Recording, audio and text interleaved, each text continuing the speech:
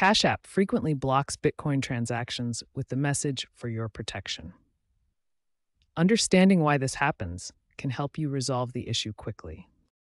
The most common reason for blocked Bitcoin transactions is an unverified account. Cash App requires complete identity verification to enable Bitcoin sending features. Another common reason is exceeding your sending limits. Unverified accounts have very low limits of just $250 per week, while verified accounts can send up to $7,500 per week.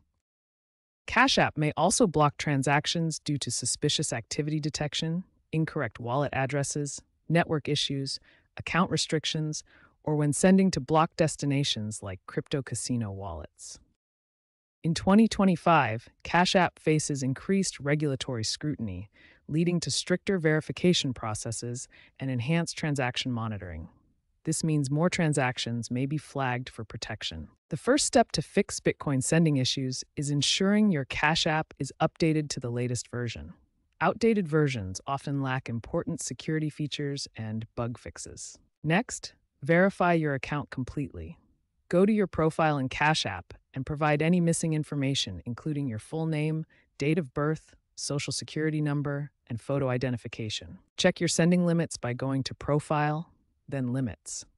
Unverified accounts can only send $250 per week, while verified accounts can send up to $7,500 weekly. For technical issues, try clearing the app cache in your device settings or completely reinstalling Cash App.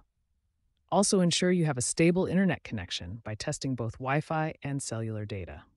Enable the security lock feature for Bitcoin transactions to add biometric protection.